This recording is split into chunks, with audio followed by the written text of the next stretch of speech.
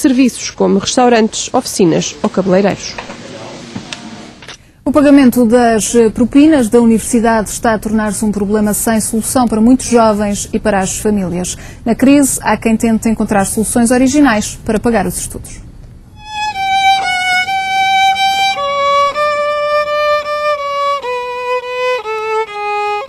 O violino é apenas uma das ferramentas que Vasco Rafael utiliza para ganhar dinheiro nas ruas de Lisboa. Ferreiro do Passo, Baixa Chiado e Mosteiro dos Gerânimos ao fim de semana. Onde é que recebe mais dinheiro? no Mosteiro dos Gerânimos.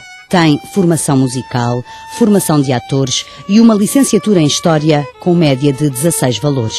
Terminou o curso superior em junho, mas ainda não pagou as propinas todas. Desempregado, decidiu tocar violino e dizer poesia na rua para juntar o dinheiro que falta, 600 euros. A minha mãe é doméstica, o meu pai é segurança. É normal que nós já uma comparticipação bastante grande. Com os cortes orçamentais não tive direito a bolsa. Uh, porque gosto da minha cidade, era incapaz de viver esta cidade. Quem não viu Lisboa não viu coisa boa, exatamente. Uh, e amo esta cidade, uh, amo aquilo que acontece, os problemas são dedicados a esta cidade e faço, e faço com muito orgulho mesmo. Agora quer pagar as contas, mas a primeira vez que tocou na rua para desconhecidos, a motivação era emocional e privada. Eu não contei aos meus pais que precisava de pagar as viagens de comboio e era assim que eu fazia. Colocava assim um cartaz, que precisava de dinheiro para ver uh, o meu grande amor e as coisas aconteciam. É uma maneira de animar a cidade, dá um bocadinho de alegria. Nós andamos todos com um ar tão desgraçado. com, esta, com esta crise é tão difícil manter um, um ar bem disposto. I like this kind of entertainment, you know, and uh, it's more a kind of tradition. Uh, and uh, uh, so these people are doing with a big passion, you know, and uh, I like that people are doing uh, something with passion. Gosto de música e achei que ele estava a fazer um trabalho que me alegrava.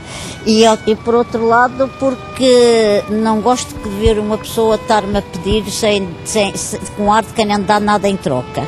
Eu, e ele está-me a dar uma coisa uh, agradável e, portanto, achei que era uma maneira de o ajudar. Os turistas e os habitantes da cidade colaboram e, moeda a moeda, o objetivo vai se cumprindo. Desde junho. Desde junho. E quanto é que já conseguiu juntar? 125. Ainda falta um bocadinho. Ainda falta um bocadinho. Considera-se um artista de rua e quer trabalhar este conceito. Depois de pagar as propinas, gostaria de fazer entretenimento, mas não necessariamente em cima de um palco.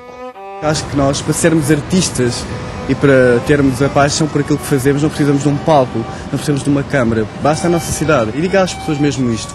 Se há divulgação, digam que é um poeta de Lisboa, que é um poeta de rua, porque é mesmo isso que eu quero.